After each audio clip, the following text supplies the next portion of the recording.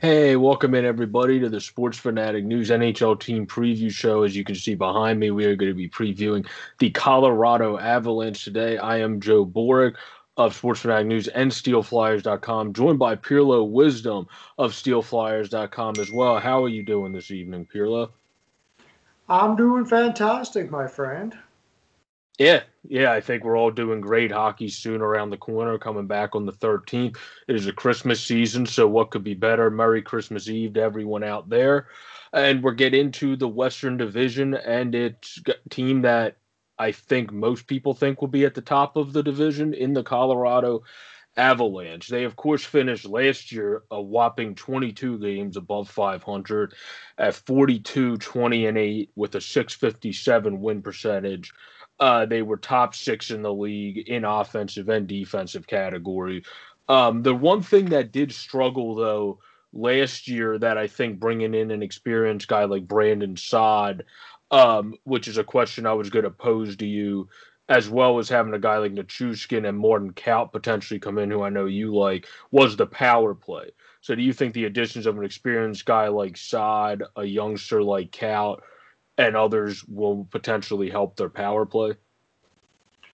I mean, it can't hurt. Uh, I I think just about anybody is perplexed why this team would have difficulties. Yeah, exactly. power play to begin with. Like, yeah, uh, if I knew the answer to why they're to, to their solving their power play problems, I wouldn't be sitting here talking to you right now.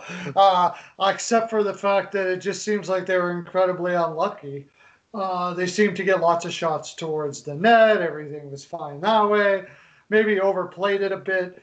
Um, hard to say. But a guy like Brandon Saad will certainly help. I guess you could say, and this is kind of the way Brandon Saad plays, is that, you know, they didn't really have that guy to go to in front of the net. Although Gabriel Landeskog doesn't do that bad. Yeah.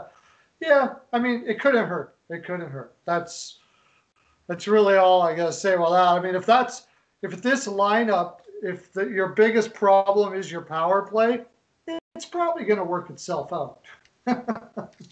yeah. Oh yeah. No, that's definitely going to work itself out. I mean, JT Compher emerges a very adequate, uh, especially a very good third line center. He could potentially be, if he continues to develop like he did last year, showed the potential to even be on your second line. But he's definitely going to be uh, starting on their third with MacKinnon as the top line and then Kadri likely as the second to start. Um, but they have a good young team with even much young infusion coming in in uh, Connor Timmins, and if you believe uh, Martin Kaut is going to make the team as well. So, what do you think of their young prospect core in the Byrams, the Kauts, the Timmins of the world, and who do you think has a chance to actually make this stacked Colorado roster this year? Well, from what I saw from Martin Kaut, he would be making most rosters this year. Um, the thing is, it's going to be very difficult to penetrate this roster. That's the only thing that may prevent him and keep him in the minors this year. Is that if he doesn't make the team, he's got to be in a bubble type scenario where, or the taxi squad where he's not playing, and Colorado's not going to like that. So he's going to have to outright make the team as would it be with all of the players that you just mentioned. Um, the the one though that I think for sure is going to make it after what I saw in the playoffs from him is Connor Timmins. I think Connor Timmins will play um, for sure. I, I, I, I think he'll play. Uh, if worse comes to worse, they'll put Ian Cole on the taxi squad. He's been around long enough that he can sit there and get paid his money and be uh, a good, still a great leader and not pout about it and all of those things like that. That's what's so wonderful about a guy like Ian Cole is he's uh, low maintenance. He'll do whatever he's asked. So that would be my guy. Uh, Byram, I think, is going to have another year. And uh, was there another one you mentioned there?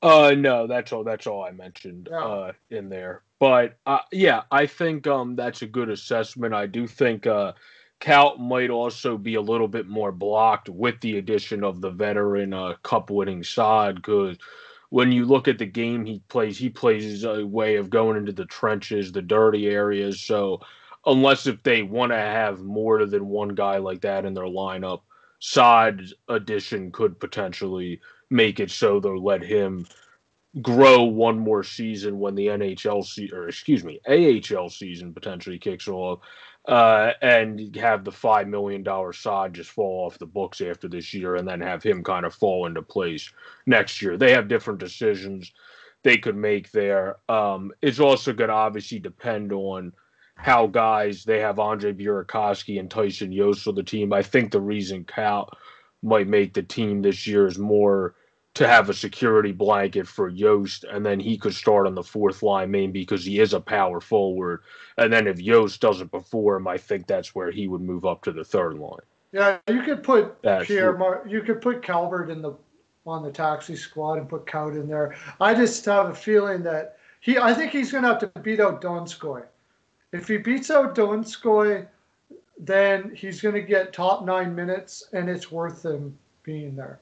So I think he's yeah. going to have or Jost, because if he beats out one of those two, those are the two bubble guys that are still good players. I think Donskoy is more of a proven guy than Tyson Jost at this point of their careers. yeah, yeah. But um, so, but moving in now to the uh, Avalanche, I know we asked this in all the other videos. There's a couple others I had you on where for them, there's really nothing, I don't think, when we ask the question. But is there anything for this team that you look at and think, eh, they could have improved that a little bit more? I don't think so. Is there maybe goalie, but other than that?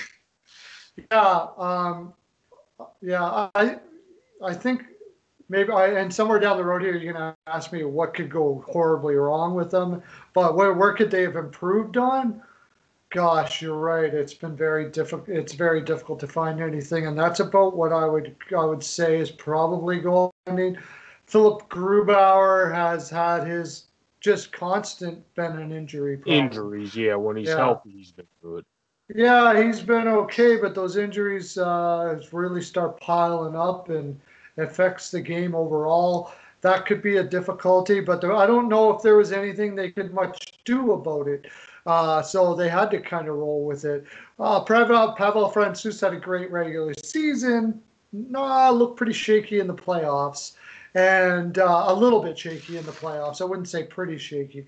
I suppose they could have went and got a more experienced third goaltender uh, to put in the bubble. Uh, as it stands now, I do believe that the whoever's in the taxi squad would be better served. That'd be Adam Werner, I think, would probably be better served playing rather than being in the taxi. But that's probably fairly fixable on the waiver wire or what have you. So it's not that big of a deal. That would be about it.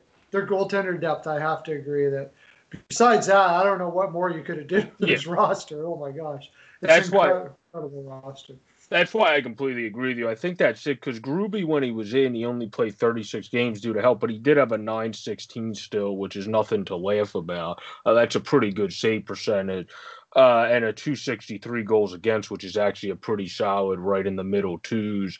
Um, and they played around the same amount of games. Francouz at a 241 and a 923. So I think they do have a very good tandem. It's more goalie depth, I think, could be the only thing you could point to because if one guy goes down, uh, that could be a little bit concerning for Colorado compared to some other teams around the league. But I think there are other assets in their offense and defense will be able to man the fort enough that it won't be as big of a thing for if it's only a one week or two week span.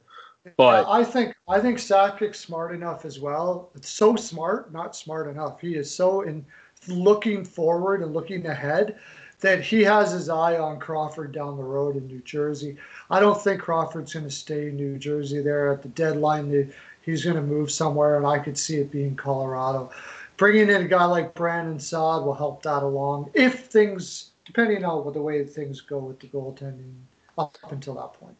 Yeah, yeah, well, I think Colorado. Uh, correct me if I'm wrong, but I think we probably both think they're going to be at the top of this uh, Western Division because they built the team well. They have a very good top nine, really, on offense. Um, and then they now added just for the heck of it, I guess, to make it even harder on everybody in the West, added Kevin Keys to their defense. Um, uh, that already has Connor Timmins coming up, who only reason he was delayed coming up was his concussion syndrome. So as long as he can stay healthy, he should be a hell of a defenseman. Next year you got Byram coming up, Cole's your taxi squad guy. I mean, they're just blessed with riches. Um, so do you believe also uh, that they're going to be the top team in this Western division? I I'd be very surprised if they're not. It's not a very strong division to begin with, and like you said, they. I, I mean, even right down to the fact that every one of their defense pairings are left and right defensemen. Every single one of them. They got RD left, LD, RD, LD, RD, LD. Like yeah. Sakic is so precise in everything he does. He's very precision general manager. He's been brilliant to watch.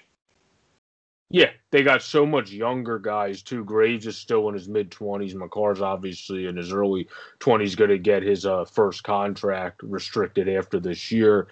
Um, and then you got Samuel Girard uh, hitting his contract only at 22 years old uh, this year with the veteran Erik Johnson. So yeah, they they do have it all uh, made. So I think this is going to be a very quick question that we'll just move on to how everything's going to fall into place for them. But if it, something will somehow go wrong for this team, uh, how do you think that could happen?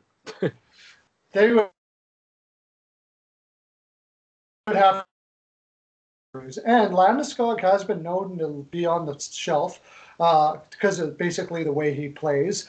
Um, Andre Burakovsky had a good, strong year, but I mean, he's been inconsistent. He, if he goes back to his inconsistent ways, um, and uh, let's say MacKinnon gets injured the first game, uh, Grubauer and Francouz either get injured or um, show the the show that they're not what they can be, especially Grubauer getting injured. You know, that they could make things difficult here for them in that way uh, to a certain extent. Uh, but even if all of those things happen, I think they could probably still make the playoffs. They're so deep. But there are, like any team, issues that could pop up. Uh, I think the biggest thing is if Grubauer gets injured like he wants to do, and Pavel Francouz has to do it on his own, and Werner, they can't find a goaltender to help him out, that could get them so they, you know, maybe maybe have a come fourth in the division or something like that. Yeah, that's the only way I think they fall off myself as well. Because uh, for you, I think uh, MacKinnon is going to be the reason I believe they'll be good, and then I'll shoot it uh, to you as one of the final things for uh, why you think all could go well. Is MacKinnon's going to continue to, I think, become a more each year right there with McDavid in the Hart Trophy race each year as long as he stays on the ice. Uh, Makar could potentially come more and more into being a Norris guy as time comes on. Now you have the youngster Timmins, who, like I said, the only reason he hasn't been up yet, he probably would have been up sooner last year if it wasn't for concussion. So as long as he stays healthy, I think he's going to be a beast. Graves really emerged last year. They got Girard. Um, I think they just really have a great stacked defense to go with a stacked offense uh, the Colorado Avalanche could potentially be the deepest team in the league, let alone the West Division. So that's why I feel they're going to have good success uh, this year, and that's why they will be at the top of the division. But what for you would be the reasons you think all could go right uh, for this team or will go right? Well, if nobody gets injured and and uh, Landeskog, MacKinnon, or Rantanen continue in their torrid pace that they have before, Andre Burakovsky has a shot that can give you 30 goals even if he's not trying. Seriously, like he's he, if he puts out a full effort as we know he can, and he puts it all together with uh, Kadri and Saad comes in with that, uh, you know, the uh, the two cups that I believe he has two cups, I believe, or is it one? Uh, I don't know, but that, that, having that cup in the room will be huge for them. And then Tyson Jost takes a step up. JT Compher, I love. He, if on most teams, JT Compher would be pushing for, uh, you know, maybe even the number one spot on a lot of teams. He certainly would be a second line center. And uh, So if all of those things go right, and there's a very good chance they are, not to mention Connor Timmins shows like he did in the playoffs. Samuel Girard is only 22 years old, yeah. one of the best two-way defensemen in the league right now, most underrated at least. Makar steps up even more if that's possible. My gosh, Norris Trophy caliber. And Ryan Graves just keeps on being the solid defensive defenseman that he is. Devon Toews, uh, is keeps on growing into his position that he has over the last little while. This team could be the President's Trophy and Stanley Cup for sure, no doubt about it. And I think that uh, there's far more chance of this what I just talked about happening than the than bad things happening for this team for sure. Yeah, one hundred percent. I one hundred percent concur with that. I, we, think... I didn't even mention Erik Johnson coming back from yeah. his injury, like like crazy, dude. What what depth is just stupid. Yeah, they're a team um, that really they only lost departures of guys they could afford to lose. They lost guys like Zadorov, Namestnikov, uh, Wilson. Not uh, bad players, just players they didn't need on their team anymore. And that because especially with the emergence of Timmins, uh, they so he signed another young guy in Dennis Gilbert, and knowing Colorado, they'll probably somehow make him into a decent six defenseman. Um, so they they just bring in good guys, and they're already at least eight deep pretty much on defense because you figure Makar, Girard, Toews, Graves, Johnson, uh, Cole, Timmins. If worse comes to worse, you would probably go Gilbert before you went Byram, but then you could go Byram, so you could argue nine deep. So yeah, they're they're all set. I think Francouz, uh, a second season is really when you're going to see him more emerge because he had to adjust to the NHL from the KHL. He's an older guy. I think he's going to be one of those guys where the 30s are his golden years since he came over so late. And you'll see him start coming into his prime this year. And if Grubauer can stay healthy, he's put up decent numbers in Colorado. I think he could have his best year with this defense that they have organized. So for me, um, being the middle mark is uh, 28 games.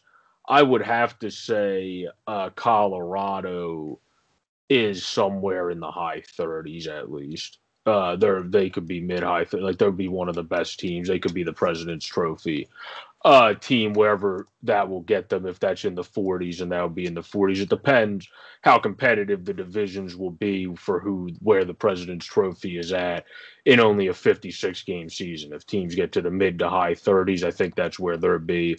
If teams get to the 40s, I th- to 40 wins, I think they'll be able to compete with that team as well. If with especially if it's a team out of their division because they're in the easier division. So either way, I put them as right up there, top team to be contending for the President's Trophy. And they even got like Alex Newhook could make a lot of teams this year. They probably won't yes. make there, but jeez, like it's just insane. Uh, the, the drafting has been absolutely incredible. Uh, they, they, they don't see, they just don't seem to do anything right. What's that?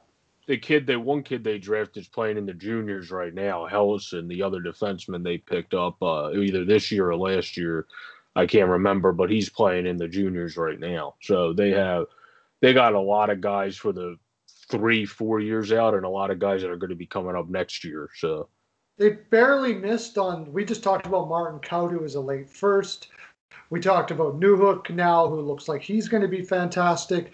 Uh, Connor, they barely missed on any of their freaking draft picks or anything. It's they just can't stop rolling. Luke Foudy's a pretty good long term. Yeah, yeah, Foudy, yeah, yeah, absolutely. So, mm-hmm. Yeah, this is just a team that got it figured out. So you so you agree? Uh, you think they're going to be right there for the President's Trophy as one of the top teams in the league, let alone their division? Can't see why they wouldn't be. I'd be very surprised if they're not. Yeah, for sure. Well, there you go, uh, Colorado Avalanche fans. You got to love us too, since we predicted you as either the best or second best team probably in the NHL. Uh, this has been the Sports Phanatic News NHL Team Preview Colorado Avalanche edition. I was joined by the wonderful Pearlo Wisdom, where you can follow him and get his information on steelflyers.com as well as Pearlo's NHL pal on Twitter. You can get my information on steelflyers.com as well as follow me on Twitter at JJBorick26. Have a great, safe, and pleasant Christmas, everybody. Merry Christmas, happy holidays, and peace out.